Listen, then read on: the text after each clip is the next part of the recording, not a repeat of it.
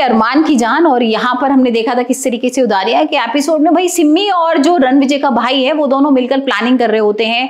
किस तरीके से यहाँ पर अरमान को ढकेल भी देते हैं गाड़ी के साथ पानी के अंदर, लेकिन भाई जो आसमा है ना, वो बचा लेती है। तो पिछले एपिसोड में हम देख रहे थे कि यहाँ पर आलिया की भी एंट्री हो गई है, और कहीं ना कहीं आसमा को थोड़ा लगा था कि भाई ऐसा तो नहीं, आलिया दोबारा उसको परेशान करने आई है, कुछ षड्यंत्र रचने आई है। लेकिन यहाँ पर ऐसा कुछ भी नहीं लग रहा है। अभी ऐसा लग रहा है कि आलिया वाकई में पॉजिटिव है, और उसके पैर में लगी थी ना तो लग रहा है कि शायद उसको पछतावा हो रहा है।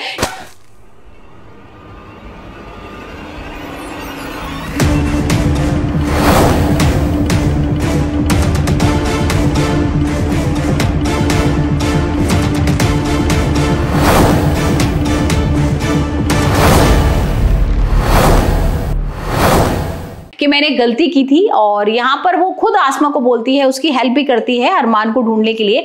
और हम देख रहे हैं यहाँ पर जो आसमा है ना, वो तो रण विजय के पीछे ही पड़ गई उसे लग रहा था भाई कहीं ना कहीं कुछ तो है, ये रण विजय है जिसके थ्रू मैं अरमान को ढूंढ सकती हूँ। लेकिन यहाँ पर उसको ये लग रहा था कि रण विजय ने अरमान को किडनैप किया है, लेकिन भाई कहानी तो कुछ अलग ही है।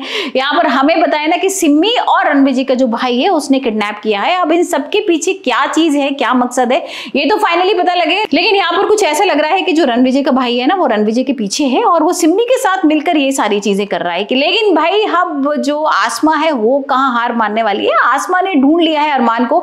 हम देख रहे हैं प्रोमो में कि किस तरीके से यहाँ पर जो सिम्मी है, उसे लगता है कि भाई अरमान अब उसका दुश्मन बनने वाला है। मतलब उसे लगता है कि उसको ज़िंदा रखेंगे तो कहीं ना कहीं नुकसान पहुंचाएगा। तो इस वजह से ना वो गाड़ी जिसमें अरमान गाड़ी में होता है और उसको ढकेल देती है पानी के अंदर और आसमा ये सब देख रही होती है और आसमा भी उस पानी के अंदर डुबकी लगा लेती है और यहाँ पर अरमान को ढूंढ लेती है। और यहाँ पर वो अरमान को पानी में से निकालती है और फिर हम देखेंगे भाई किस तरीके से अरमान और आसमा दोबारा से एक हो जाएँगे। लेकिन यहाँ पर ये जो आलिया का ट्विस्ट है ना, वो समझ में नहीं आ रहा कि क्या वाकई में आलिया पॉजिटिव हो गई है या फिर कुछ और नया खेल करने आई है। कहीं ऐसा तो नहीं, आलिया, सिम्मी और जो रणविजय का भाई ये तीनों मिले हुए भाई ये तो देखने लायक होगा कि क्या कुछ होने वाला है। लेकिन आप मुझे बताइए, आपको दरिया का एपिसोड कैसा लग रहा है और आप कितने एक्साइटेड है अरमान और आसमा को दोबारा एक होने के लिए?